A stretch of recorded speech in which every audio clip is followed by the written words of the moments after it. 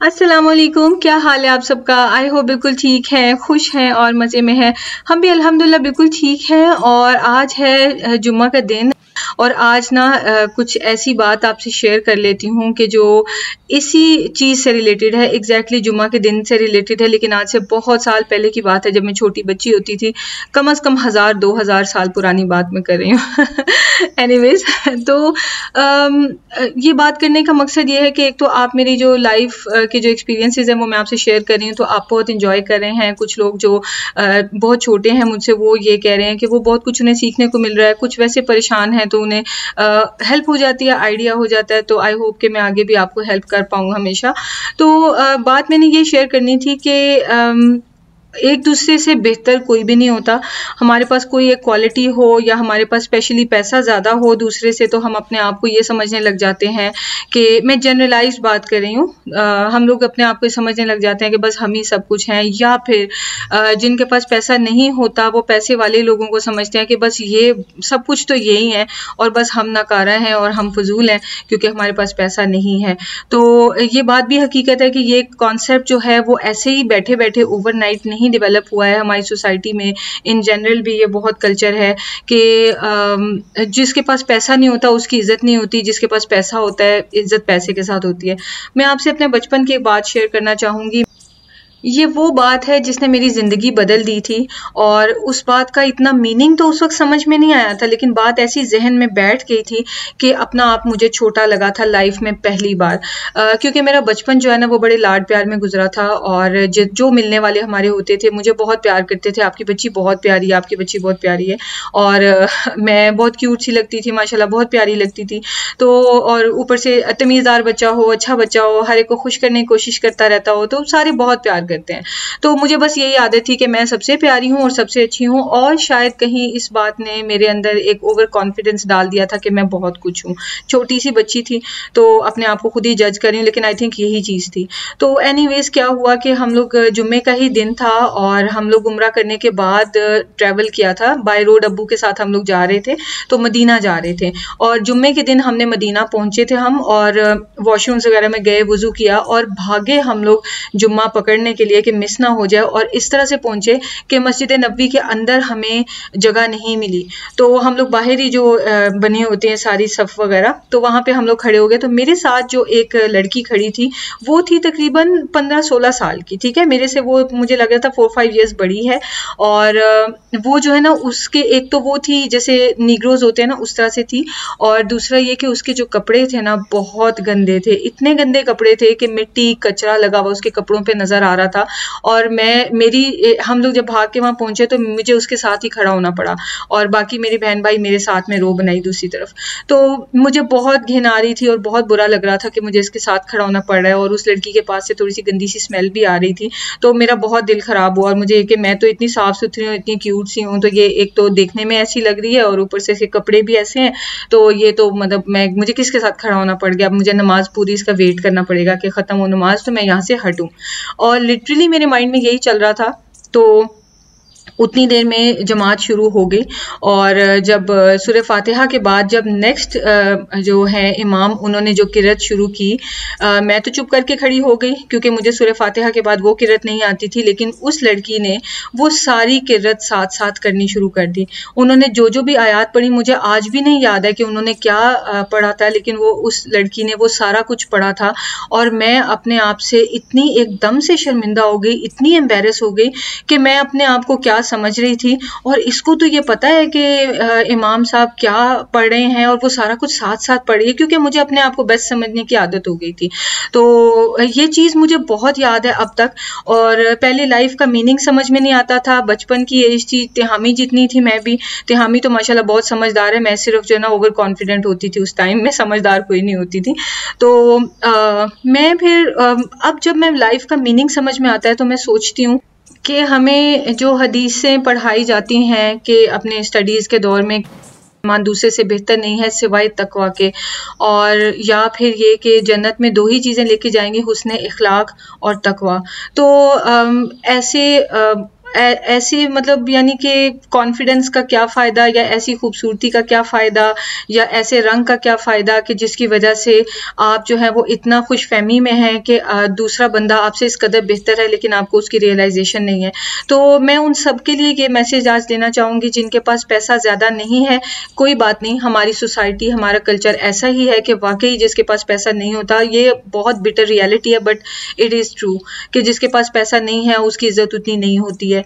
तो लेकिन इस बात से परेशान बिल्कुल नहीं होना। आपके पास अगर तकवा है, आपके पास हुसन अखलाक है तो आप उन सब लोगों से बेहतर हैं जो अपने पैसे के ऊपर अपने अपने जो है ना ताकत का यूज़ करते हैं या अपने पैसे को अपनी ताकत समझते हैं। ये पैसा किसी काम नहीं आना, ये हर चीज़ यहीं रह जानी है। जो काम आनी है वो हमारा इखलाक है, हमारा तकवा है। तो बस ये कहना चाहूँगी तो अभी आते हैं रेसिपी की तरफ़। आई होप आपको मेरी ये बचपन की स्टोरी अच्छी लगी होगी। मुझे ये स्टोरी अभी तक याद है और उस, बच्ची का फेस भी मुझे याद है। अल्लाह ताला उसे खुश रखें, जहाँ भी हो खुश होगी, यकीनन अल्लाह के वो बहुत करीब थी। तो अल्लाह ताला हमारे बच्चों को भी इसी तरह हिदायत दें कि वो अच्छे अमाल करें, आमीन। तो यहाँ पे मैंने जो है ना वेजीज कट कर लिया और ये सुबह का ऑयल था जो मैंने तिहामी के लिए बनाए थे, कबाब्स और मिशारी के लिए इसी में नगेट्स बनाए थे तो वो फिर मैंने उसको यूज़ कर लिया क्योंकि ज़्यादा देर तो रखा नहीं जाता। तो उसमें मैंने प्याज डाल दिए शलजम के लिए और यहाँ पे मैं बीट रूट राइस बनाने लगी हूँ तो मैंने ऑयल में डाल दिए हैं प्याज और ये प्रेशर कुकर राइस होंगे और जल्दी से ठकाठक जो है ना, ये लिटरली बन जाते हैं।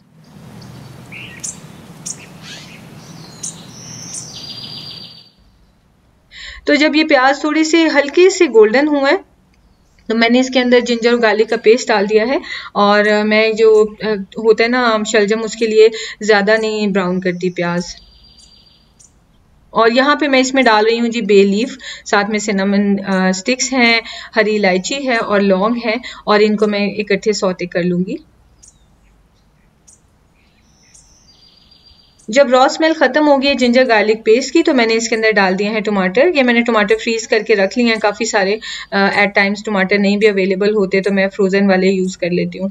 आहिस्ता आहिस्ता मैं कैंड प्रोडक्ट्स बहुत कम करती जा रही हूँ and I am really glad that I am doing that क्योंकि it's full of sodium and chemicals and preservatives and you know very well it's not good for your health so बेहतर यही है कि इन चीज़ों को अवॉइड किया जाए। एक टाइम तक मैं अवॉइड नहीं करती थी बट आई थिंक अब जब समझ आ गई अच्छे से तो कर लेना चाहिए।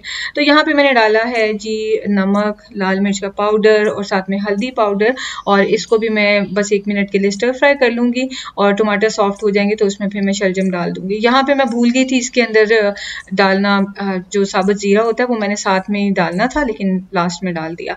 तो ये मेरे पास फ्रोज़न मटर पड़े हुए थे आपके पास फ्रेश हैं तो आप वो भी डाल सकते हैं। आ, मैं ज़्यादातर फ्रोज़न लेके रखती हूँ क्योंकि फ़्रेश पीस यहाँ पे बहुत रेयरली मिलते हैं। पाकिस्तानी शॉप्स वगैरह पे मिलते होंगे लेकिन जहाँ पे मैं जाती हूँ कारफो पे वहाँ पे बहुत रेयरली मिलते हैं और अगर मिले तो बहुत एक्सपेंसिव होते हैं तो फ्रोज़न पैकेट मेरे लिए सही रहता है। तो ये जनाब मैंने इसमें डाल दिया है बीट रूट्स और ये दो कप थे और मैं दो कप राइस बनानी जितने राइस लेने हैं आपने उतने ही आप बीटरूट जो है वो उनको ग्रेट कर लें और वो आप उसमें डाल दें और एक से दो मिनट के लिए बस मैं उसकी भुनाई करूँगी। और मतलब ऐसे भूनना नहीं है, बस उसको आपने थोड़ा सा ऐसे चम्मच हिला देने हैं, बस। और यहाँ पे शहजाद मुझे अपने आ, काम से रिलेटेड एक स्टोरी सुना रहे थे। हमारी लाइफ में काफ़ी ज़रा अप्स एंड डाउन चल रहे थे शहजाद के काम को लेके। कुछ लोग जो धोखा देने से बाज नहीं आते लेकिन अल्हम्दुलिल्लाह हर काम अल्लाह का नाम लेके करते हैं इस्तखारा करके करते हैं तो अल्लाह ताला हमें आ, मेजर जो बम्प्स हैं उन पे से स्मूथली गुजरने की तोफ़ी फरमा देते हैं। अल्हम्दुलिल्लाह। तो यहाँ पे मैंने इसमें डाला है नमक लाल मिर्च का पाउडर साथ में है इसमें हल्दी पाउडर साथ ही में इसमें जा रहा है गरम मसाला पाउडर और धनिया पाउडर और बस ये चीज़ें मैंने इसके अंदर ऐड की हैं। ज़ीरा ऑलरेडी डाला हुआ है तो ज़ीरा पाउडर मैंने फिर इसलिए ऐड नहीं किया। और बस इसको एक दो सेकंड के लिए बस इस तरह स्टर कर लूँगी और उसके बाद हम इसमें राइस डाल देंगे। टेस्ट कर लूँगी, ज़रूरत है तो और आप इसमें नमक, मिर्च एडजस्ट कर सकते हैं। इस टाइम पर आप इसमें हरी मिर्चें भी डाल सकते हैं काट के, लेकिन मैंने नहीं डाली क्योंकि बच्चों ने भी खाना था। अब इसके अंदर मैंने डाल दिए हैं राइस और बस अब मैं इसमें पानी डाल दूँगी। दो कप राइस है और मैंने फोर कप पानी, तकरीबन पौने चार कप कह लें पानी डाला था। इसलिए कि ये जो बीट रूट्स हैं, इनका पानी वेपोरेट हो चुका था। अगर इसका पानी होगा तो आप उसके हिसाब से ही फिर देखिएगा। थोड़ा और पानी कम डाल लें। तो यहाँ पे क्या हुआ मेरे साथ थोड़ा सा जो है ना ब्लंडर हुआ है। मैंने फ़र्स्ट टाइम प्रेशर कुकर में राइस कुक किए हैं ये वाले बीट रूट वाले। तो आ, पता नहीं क्या रीज़न हुई है कि उनका उस तरह से कलर नहीं आया। टेस्ट ऑब्वियसली अलहमदिल्ला बहुत अच्छा था लेकिन आई थिंक मैंने मिक्स नहीं किया ना क्योंकि प्रेशर कुकर का मुझे यही पता है हमेशा से मैं यही देख रही हूँ कि उसको आपने ज़्यादा मिक्सिंग नहीं करनी क्योंकि राइस जो है नहीं तो लग सकते हैं। तो मैं अगर मिक्सिंग करती तो अच्छे से बन जाने थे क्योंकि जब without rice without pressure cooker बनाते हैं तो ये राइस बहुत ज़बरदस्त रेड कलर के बनते हैं। लेकिन अभी ये है कि वो बीट रूट इकट्ठे इकट्ठे थे तो वहाँ पे वो रेड हो गए। लेकिन बाकी जो पानी में जितना सा कलर आया था, बाकी राइस उसी तरह बने। खैर, मैं आपको भी एंड प्रोडक्ट दिखाऊँगी, लेकिन अल्हम्दुलिल्लाह टेस्ट बहुत अच्छा बन जाता है और बच्चे बहुत शौक से खा लेते हैं। क्योंकि बीट रूट है तो बहुत अच्छा है बच्चों के लिए भी। हम लोग नॉर्मली बीट रूट घरों में यूज़ नहीं करते। आई थिंक जो इंडियन मेरी सब्सक्राइबर्स हैं, वो तो काफ़ी यूज़ करती होंगी। लेकिन हम पाकिस्तानी जो है ना, वो इतना बीट रूट नहीं खाते हैं। तो इस तरह से वेजिटेबल्स ऐड कर ली जाए ना तो बहुत हेल्दी रहता है। हमारे लिए भी, हमारे बच्चों के लिए भी। और अब चूँकि मैं वेट लूज़ करने की तरफ़ आई हुई हूँ नौश ब्लॉग पे मैंने अपनी अपडेट दी है। रिसेंटली कि मैंने डेढ़ हफ़्ते में एक के से ज़्यादा लूज़ कर ली है। तो आज मैं आपको कम मोटी ताज़ी नज़र आ रही हूँ। तो बस इनशाला इसी तरह स्लोली ये प्रोसेस जारी है। और इंशाल्लाह मेहनत करती रहूँगी और ये जो एक्स्ट्रा वेट मैंने कैरी किया हुआ अपने साथ, ये सारा वेट जो है मैं लूज़ कर लूँगी, इंशाल्लाह। तो यहाँ पे मैं वेजिटेबल्स जो है ना, उनको अच्छी तरह से वॉश कर रही हूँ और मुझे अब ये तरीका बहुत अच्छा लगता है जिससे बर्तन धोते हैं ना स्पंज से, उसी से मैं जो है ना अच्छी तरह ये कैरेट्स वगैरह को वॉश कर लेती हूँ। तो इससे ये होता है कि इनके ऊपर किसी भी तरह की जो मिट्टी है ना, वो नहीं रहती, क्योंकि आजकल जो कैरेट्स आ रही हैं, उसमें काफ़ी मिट्टी लगी होती है और हाथ से जितना मर्ज़ी धो लें वो सही से नहीं वॉश होती है और अगर ब्रश यूज़ करने की कोशिश करें तो ब्रश की वजह से छींटें बहुत ज़्यादा वॉल्स पे पड़ती हैं। तो इस वजह से फिर मैं जो है ना, इसको अपने स्कॉच ब्राइट से वॉश कर लेती हूँ। और, ये मैंने लास्ट टाइम भी ज़िक्र किया था, ये मेथड मुझे बहुत हेल्पफुल हुआ हुआ है। मैं जो भी वेजिटेबल्स लाती हूँ, जो भी फ्रूट लाती हूँ ना सेम तरह के दो कंटेनर्स हैं मेरे पास। एक में वेजीज रखी होती हैं, एक में फ्रूट और फ्रूट तो ये कि शाम में टीवी देखते हुए मैं ला के रख देती हूँ। बच्चे भी खा लेते हैं, मैं भी और शहजाद भी। अदरवाइज़ ये है कि थोड़ा कम हो गया हुआ था फ्रूट खाना। और वेजिटेबल्स भी जो है वो इस तरह रेगुलरली हम लोग खा पा रहे हैं, क्योंकि क्या होता है खाना बना के जब थके होते हैं ना तो एट टाइम्स मुझे ऐसे लगता है कि ये सैलड बनाना एक एक्स्ट्रा डिश बनाने के बराबर है तो मैं अक्सर स्किप कर देती हूँ। तो अब इसमें यह है कि बना होता है तो दो से तीन दिन में ख़त्म हो जाता है। यहाँ पे ये शलजम भी रेडी हो गए हैं, मैंने अच्छी तरह से इनकी भुनाई भी कर ली है, जितना भूनती हूँ उतना ज़्यादा मज़े के लगते हैं। और बस यहाँ पे अब मैं थोड़ा सा मिंट और थोड़ा सा धनिया जो है ना, वो निकाल लूँगी, क्योंकि मैंने डालना है इसको शलजम की सब्ज़ी में भी और साथ में मैंने इसको राइस में भी डालना है। शलजम के साथ अगर आप बड़ा गोश्त या छोटा गोश्त मतलब रेड मीट डालते हैं ना तो बहुत अच्छा टेस्ट आता है। लेकिन मेरे पास रेड मीट था नहीं तो मैंने नहीं डाला। और ये जो पुदीना और धनिया है ना, इसको मोर देन अ वीक हो गया और ये इसी तरह अच्छे से चल रहा है। बस इसको अच्छी तरह से कर लेना टिश्यूज में कवर कर लें कि लाइट भी बाहर से ना पड़े तो फिर ये बहुत अच्छे चल जाते हैं। तो ये देखें, अगर मैं इसे अच्छे से मिक्स करती ना तो ये बहुत अच्छा कलर बन जाना था, लेकिन मैंने राइस ऊपर ऊपर ही रखे और बस पानी डाल दिया और इसको प्रेशर कुक कर दिया। नेक्स्ट टाइम मैं प्रेशर कुकर में ही करूँगी, लेकिन मैं अच्छी तरह से मिक्स करके फिर बना के देखूँगी। तो ज़रूर आप भी ट्राई करना। चीज़ माशाल्लाह अल्हम्दुलिल्लाह बहुत अच्छी है। रेसिपी बहुत अच्छी है। और इसको रायता के साथ खाने का बहुत मज़ा आता है। और इतने मज़े के राइस बनते हैं अल्हम्दुलिल्लाह के अचार वगैरह लेने की ज़रूरत नहीं पड़ती साथ में। यहाँ पे मैंने गरम मसाला धनिया पाउडर ज़ीरा पाउडर डाल दिया है और बस ये भी रेडी हो गया और इसके ऊपर बस मैं अब धनिया डाल दूँगी। तो आ, मुझे एक दो कमेंट्स ऑफ़ एंड ऑन आते रहते हैं कि आप गरम मसाला ज़ीरा पाउडर धनिया पाउडर वगैरह काफ़ी ज़्यादा डालती हैं तो ऐसा आप क्यों करती हैं? पहली बात तो हमें पसंद है और दूसरी बात ये कि ये आपकी बॉडी में थोड़ा थोड़ा सा जो है ना मेटाबलिज्म को थोड़ा फास्ट करते हैं जो स्पाइसी नहीं होते मसाले दूसरे वाले। तो ज़रा ये आपको जो है ना वेट गेन इतनी जल्दी नहीं करवाते। तो आपने देखा है कि मैं आ, बहुत देर तक अगर मतलब फजूल ईटिंग करूँ तब जाके वेट बढ़ता है फ़ौरन फ़ौरन मेरा नहीं बढ़ जाता। तो शायद इन्हीं मसालों की वजह से है क्योंकि ये मेटाबॉलिज्म को ज़रा फास्ट करके रखते हैं। तो यहाँ पे मैंने थोड़ा सा चॉप करके धनिया और पुदीना दोनों डाल दिया। बीटरूट राइस में मुझे पुदीना बहुत पसंद है साथ में थोड़ा सा लेमन स्प्रिंकल कर दिया और बस हम डन हो गए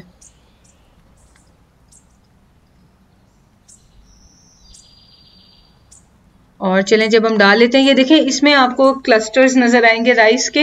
राइस के एज सच क्लस्टर्स नहीं है बीट रूट के क्लस्टर्स हैं। मैंने उनको ग्रेट किया हुआ था और वो आपस में सारे जो जुड़ गए हैं तो उस वजह से कलर सारा डिस्ट्रीब्यूट नहीं हुआ प्रॉपरली राइस में। सो नेक्स्ट टाइम मैं आपके सामने इनशाला ट्राई करूँगी राइस कुकर में ही, क्योंकि राइस कुकर का जो मुझे चस्का अब हो गया है ना, मेरा दिल ही नहीं चाहता नॉर्मल कुकिंग करने का, क्योंकि इतनी अच्छी कुकिंग हो जाती है और इतनी क्विक हो जाती है कि फिर क्या ज़रूरत है पूरा दिन किचन में लगाने की। नहीं इसलिए कि आप मुँह बड़ा नहीं खोलते हो। हाँ ये मुँह ही नहीं खोलता है ना? मैं चाहता हूँ आप बेसिकली वो कौन सा हम ड्रामा देखते थे? वो जो बड़े मुँह वाले जो होते थे वो बुलबुले के अंदर जो है? हाँ। क्या? अभी मुझे नबील के साथ होते थे ना नबील के साथ क्या साहब होते थे? महमूद साहब। महमूद साहब वाला मुँह खोलना है बड़ा तो फिर मैं खिलाऊँगा समझे? ठीक है। चले जी काका जो है पापा से खाना खाने लगे। खोल के दिखा पहले। इधर भी खोल के दिखाओ जरा। फिर ठीक है। विशु चले जब बाबा जो है दोनों को खाना खिलाएँगे। सलाद सबको खिला रहे हैं तो मुझे भी खिला दें। ये क्या इसको इसको कहते हैं आ बैल मुझे सींग मार। तो बैल सिंह की माँ तो आपको अपनी टेल तो मारेगा नहीं। या वो कोई दुपट्टा या कोई चादर ला के तो मारेगा नहीं तो है नहीं। देखे तो। अच्छा लाइट प्लेट इधर ले आपको भी खिला दूँगा। नहीं मैं खुद खा लूँगी मैं बहुत बड़ी हो गई हूँ। तो यहाँ पे मिस्टर बाबा की जो शामत आई हुई थी कि हामी, जब जब बड़ा होता जा रहा है, बच्चा बनता जा रहा है। उसको ये होता है कि जब खाना, अगर जल्दी खाना है तो मुझे बाबा खिला दें।